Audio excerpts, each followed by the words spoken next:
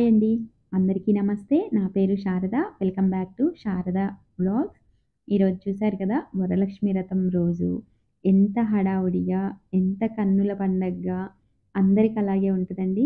నేను మా ఇంటి వరలక్ష్మీదేవికి ఎలా చేసుకున్నాను అనేది ఈ వ్లాగ్లో మీతో షేర్ చేసుకుంటాను. లేట్ చేయకుండా చూసేద్దామా మరి? ఫస్ట్ చూశారు కదా ఇది గుడి మల్కాపూర్ వెళ్ళామండి. గురువారం పొద్దున్న ఆ పువ్వులన్నీ అక్కడ కాబట్టి కొంచెం పర్వాలేదు.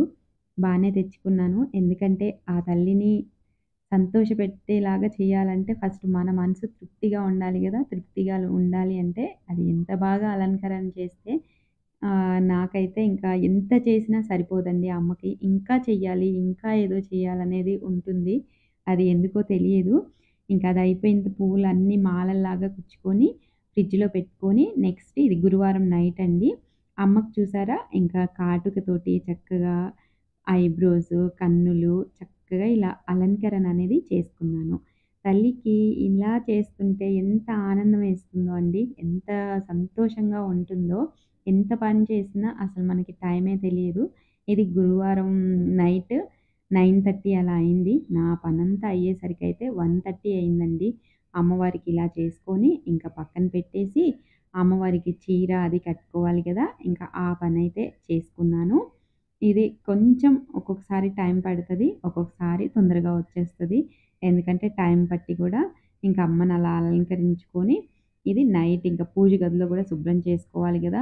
లంచ్ ఇంకా వంట కూడా ఏం చేయలేదు. పన్నీర్ రైస్ చేసేసి పిల్లలకి పెట్టించేసి ఇక్కడ అమ్మకు చూసారు కదా ఆకులతోటి ఇంకా మనకి బనానా ట్రీస్ అన్నీ ఇలాగా కొంచెం డెకరేషన్ ఇలా చేసుకున్నాను.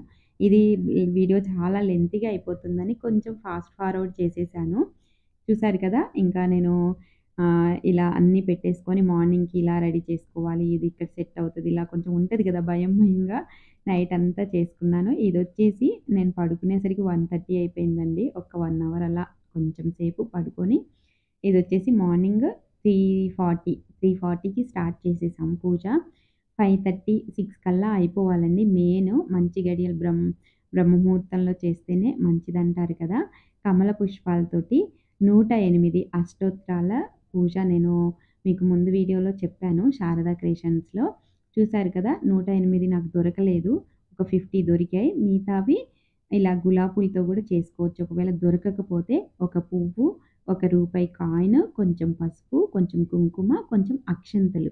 ఇక్కడ ఏంటి నేను డ్రెస్తో కూర్చొని చేసుకుంటున్నానని ఏం అనుకోవద్దండి. నాకు అంత టైం లేదు. ఎందుకంటే ఆ పూజ అమ్మకి ఐదున్నర నుంచి ఆరింటి లోపల అయిపోవాలి. నాకు టైం లేదు. సలివిడి వడపప్పు పానకం ఇంకా ఒక రకం కొంచెం రైస్ మూడు రకాల ఫ్రూట్స్ పెట్టేసి ఫస్ట్ అయితే పూజ కంప్లీట్ చేసుకున్నాను. నాకు అదే మెయిన్ అని ఇంకా అది అవ్వటమే చూసుకున్నాను. అందుకనే నేను ఏం వేసుకున్నాను శారీ కట్టుకోలేదు. అంటే కొంతమంది కొత్త చీర కట్టుకొని కూర్చోవాలి అంటారు కదా. ఇదంతా అయిపోయాక వంట చేసుకొని మహానైవేద్యం పన్నెండింటికి పెట్టినప్పుడైతే కట్టుకున్నాను. అది నెక్స్ట్ వీడియోలో పెడతాను. ఎందుకంటే చాలా లెంతీగా ఉంది. ఈ పూజ అనేది పాతకాలంలో రాజులు చేసుకునే వాళ్ళంటండి. సీతాదేవి రాముడు కూడా చేసుకున్నారు అని అంటారు. అంత మంచి పూజ అంత మంచి అష్టోత్తరాలు అంత మంచి విషయ విషయం మనకు తెలియటమే మన అదృష్టం కదా. దాన్ని వదులుకోవటానికైతే నేను ఇష్టపడలేదండి. బట్టలు ఏముంది అమ్మకి మనం భక్తితో చేయటమే నేనైతే అది చూస్తాను. చూశారు కదా? ఇంకా మెయిన్ ఇంట్లో ఫస్ట్ పూజ మనం మామూలు డైలీ పూజ చేసుకోవాలి కదా. గబా ఈ పూజ చేసుకొని వెళ్ళి అక్కడ కూర్చొని ఎందుకంటే నేను అవి మా హస్బెండ్కి అందిస్తే తను పె పెడతారు. ఇంకా అక్కడ టైం అయిపోతుందని గబగబా ఇంకా ఇక్కడైతే మళ్ళీ ఇక్కడ అభిషేకం చేయాలి అక్కడ ఇవ్వాలి. చూశారు కదా ఇవి నేను అందిస్తే తను పెట్టాలి. ఇది కొంచెం టైం పడుతుంది కాబట్టి ఫస్ట్ ఇది అయిపోవాలి కాబట్టి ఇంకా అలా కూర్చుని పోయి తనకు అందించాను మా హస్బెండ్కి. చూశారు కదా ఎంత కన్నుల పండగగా ఉంటుందో అండి. సౌభాగ్యలక్ష్మీ రావమ్మ అమ్మ సౌభాగ్యలక్ష్మీ రావమ్మ.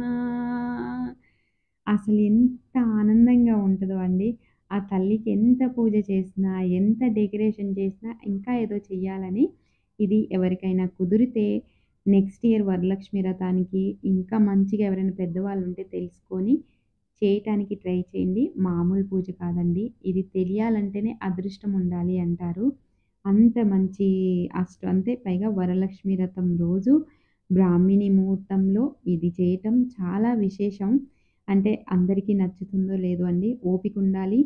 ఆ టయానికి లెగగలగాలి. ఏది అడ్డుండకూడదు. కరెక్ట్ ముహూర్తానికి అయిపోవాలి. చూసారు కదా ఇలాగా కొంచెం అక్షంతలు కుంకుమ పసుపు వేసి వన్ రూపీ కాయిన్ పెట్టి ఓం వికృత్యే నమ ఓం ప్రకృత్యే నమ ఓం విద్యాయే నమ ఓం వరలక్ష్మీదేవియే నమ ఓం మహాలక్ష్మీదేవియే నమ అష్టలక్ష్ముల్ని తలుచుకుంటూ ఇలా పూజ చేసుకుంటే దానికంటే మహాభాగ్యం ఏముంటుంది అనిపించింది? మీరందరూ ఏమనుకుంటున్నారో తెలియదు కనండి. ఎంతో సంతోషంగా చేసుకున్నాను. తర్వాత అమ్మకి హారతి ఇచ్చాను శ్రీచక్రపురమునందు స్థిరమైన పసిడి పాదాలకి నీరాజనం. కలవరే కులంటి కన్నుల తల్లి శ్రీరాజరాజేశ్వరికి నీరాజనం. బంగ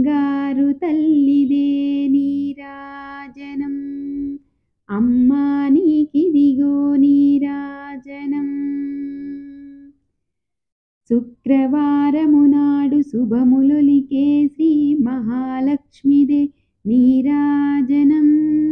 బంగారు తల్లిదే నీరాజనం. ఇలాగా పూజ అంతా పూర్తి చేసుకొని సిక్స్ థర్టీలోగా పూజ అయితే అయిపోయిందండి నాది. తర్వాత ఇంకా అమ్మకి సలివిడి వడపప్పు మూడు రకాల పళ్ళు రైస్ కొంచెం మీగడతో రైస్ పెట్టేసి ఈ విధంగా వంట చేయటానికైతే వచ్చానండి. ఇది అటుకులతో పరవాన్నం మనం బెల్ బెల్లం పా పరవాన్నం ఎలా చేస్తామో సేమ్ ప్రాసెస్ అండి. రైస్ కాకపోతే రైస్కి బదులు అటుకులు వేస్తున్నాను. అంతే డిఫరెంట్ ఇక్కడ. చూసారు కదా? పరవాన్నం ఇదేమో పూర్ణాలకి పప్పు పోసుకున్నాను. పూర్ణాలకి ఇప్పుడు ఇది క్లీన్గా వాష్ చేసేసుకొని గ్రైండర్లో వేసేసుకొని ఇది అవుతూ ఉంటుంది. ఒక పూర్ణాలు మంచిగా సాఫ్ట్గా రావాలంటే దోశ పిండిలో కొంచెం సగ్గుబియ్యం కొంచెం అటుకులు. అంటే మామూలు మనం దోశకి ఎలా పోసుకుంటాం? ఒక గ్లాస్ పప్పు రెండు గ్లాసులు రైస్ బియ్యం పోసుకుంటాం కదా? కొంచెం శనగపప్పు ఒక చిటికెడు. అంటే ఒక హాఫ్ స్పూను మెంతులు ఒక రెండు గ్లాసులు రైస్ పోసుకొని ఒక గ్లాస్ పప్పు పోసుకుంటే ఒక స్పూన్ మెంతులు ఒక మూడు స్పూన్లు శనగపప్పు ఒక గుప్పెడు సగ్గుబియ్యం ఒక గుప్పెడు అటుకులు వేస్తే మనకి పూర్ణాలనే కాదండి. దోశ కూడా చాలా టేస్టీగా ఉంటుంది బాగుంటుంది కూడా. ఇది అవుతూ ఉంటుంది. ఇంక ఇది అయ్యేలోగా మనం పానీలు కూడా అంటే పానీలు అంటే అమ్మవారికి ఇష్టం అంటారు కదా. ఎప్పుడు గారెలు చేస్తాను కదా ఈసారి పానీలు చేద్దాంలే అని ఇంకా పానీలకి రెడీ చేసేసుకుందాము ఇది అయ్యేలోగా. కానీ ఇది కొంచెం మనకి మెత్తగా అయ్యే వరకు ఎంటెంటనే కొంచెం తిప్పుతూ ఉంటే తొందరగా నలుగుతుందండి. అవుతుంది కదా అని మూత పెట్టేసి ఉంటే కొంచెం టైం పడుతుంది. చూసారు కదా? ఇంకా పిండి అదంతా చూపిస్తే మీకు వీడియో చాలా లెంతీగా అయిపోతుందని ఇంక ఇలా ఇక్కడ చూపించేస్తున్నాను ఎప్పుడైనా ఎవరికైనా కావాల్సిన కమెంట్స్లో చెప్పండి. ఇది చాలా ఈజీ ప్రాసెస్. చాలా మంచి టేస్ట్ ఉంటుంది. పిల్లలు కూడా చాలా ఇష్టంగా తింటారు. ఇలా పానీని అనేవి రెడీ చేసుకున్నాను. ఇది కట్ చేసేసి చక్కగా చేసుకొని వేపుకొని మనకి స్వీట్ వద్దనుకుంటే స్వీట్ వద్దు పాకంలో వేయకుండా తినొచ్చు. స్వీట్ కావాలంటే పాకంలో వేసుకోవచ్చు. చూసారు కదా ఇంకా చక్కగా ఈ విధంగా అయితే చేసుకున్నాను. కానీ పండగ రోజు మనం ఎంత పని చేసినా ఎంత పని ఉన్నా ఆ ఆనందం వేరు పని చేసినట్టు కూడా ఉండదండి. ఎంత ఆనందం వేస్తుంటుందో అమ్మకి ఇంకా ఏదో ప్రసాదం చేయాలి ఇంకా అమ్మకి ఏం పెట్టాలి ఎలా అలంకరణ చేయాలి ఎలా అక్కడ రెడీ చేయాలి ఇంకేమైనా ప్రసాదం చేయాలా అని చాలా ఆనందంగా ఉంటుంది కదా. ఇంకా చూసారా ఇవి? ఇలాగా సాఫ్ట్గా వస్తాయండి. పిండిలో ఏమీ లేదు. మైదా పిండిలో కొంచెం మనం కలిపేటప్పుడు కొంచెం ఆయిల్ వేసుకొని కొంచెం సాల్ట్ వేసుకొని కలుపుకోవాలి. ఇలా చేశాక దానిపైన కూడా కొంచెం నెయ్యి ఉంటే నెయ్యి ఆయిల్ అవుతే ఆయిల్ రాసుకొని పైనుంచి పొడి పిండి వేసుకోవాలి. అప్పుడు మనకి పొరలు అనేవి మంచిగా విడిపోతాయి. పొడి పిండి వేయకపోతే పొరలు అనేవి విడిపోవండి. ఎందుకంటే అలా ముద్ద ముద్దగా ఉంటుంది. పొరలు ఎక్కువ రావాలి అంటే దానికి ఇదే అండి టిప్. పొడిపిండి ఎక్కువ వేసుకుంటే మంచిగా పొర పొరలుగా కనిపిస్తుంది మనకి. చూసారు కదా ఇలాగ పెద్ద చపాతీలాగా చేసుకొని ఎన్ని రోల్స్ అంటే ఎన్ని మడతలు ఎక్కువ ఉంటే అంత బాగా వస్తాయి. అలా చూసుకోవాలి. అందుకని ఇది చపాతీ పీట మీద అయితే సరిపోదు. అందుకనే గట్టి క్లీన్ చేసుకొని మనం గట్టి మీదే అంటే పెద్ద ప్లేస్ ఉండాలి దీనికి. అప్పుడే బాగా వస్తాయి. చూడండి ఇలాగా చక్కగానే పిండి మాత్రం కొంచెం ఎక్కువసేపు నాననివ్వాలండి మనం చేసుకుంటున్నాము అనుకుంటే ఒక వన్ అవర్ ముందు అలా నానబెట్టుకుంటే మనకి ఈజీగా అయిపోతుంది. తొందరగా కూడా గబగబా చేసుకోవచ్చు. పిండి కూడా సాఫ్ట్గా చూసారా మనకి? ఎంత సాఫ్ట్గా ఉండవు పిండి పట్టుకుంటానికి. వేడివేడిగా చక్కగా పిల్లలు కూడా ఇష్టంగా తింటారు. ఎవరికైనా నచ్చితే ట్రై చేసి ఎలా వచ్చిందనేది కామెంట్స్లో తెలియజేయండి. చూసారు కదా ఇంకా పానీలు అయితే అయిపోయాయండి. ఆల్మోస్ట్ కొన్ని పాకంలో వేయకుండా పక్కన తీసాను ఇలా సాఫ్ట్గా అంటే కొంచెం స్వీట్ ఇష్టం లేదు అనుకునే వాళ్ళకి ఇలా నచ్చుతుంది. స్వీట్ తినే వాళ్ళంటే నాకు లాంటి వాళ్ళకైతే స్వీట్లో వేస్తేనే నచ్చుతుందిలేండి. ఎందుకంటే స్వీట్ ఫ్యాన్స్ మీరు ఎంత చెప్పినా అంతే వాళ్ళు ఒకటి తిన్నా హాఫ్ తిన్నా ఆ స్వీటే తినాలనుకుంటారు. అంటే నాకు లాంటి పిచ్చోళ్ళు ఉంటారో ఉండరో తెలియదు. నేనైతే అదే ఆలోచిస్తాను. కొంచెం తిన్నా నాకు అది స్వీటే ఉండాలి అని చూస్తాను. మరి అది మంచి హ్యాబిటో బ్యాడ్ హ్యాబిటో కూడా తెలియదు ఈ విధంగా రెడీ చేసుకున్నాను అన్నీ. పానీలు అయిపోయాయి. చూసారు కదా? ఇంకా తర్వాత ఇంకా అమ్మ దగ్గర అన్ని ప్రసాదాలు పెట్టి మీ వీడియో లెంత్గా అయిపోతుంది. నెక్స్ట్ వీడియోలో అన్నీ మిగతా అన్నీ చూపిస్తానండి. ఈ వీడియో ఎలా అనిపించింది అనేది లైక్ షేర్ కమెంట్. మళ్ళీ నెక్స్ట్ వీడియోలో కలుద్దాము. Thank you for watching. Bye.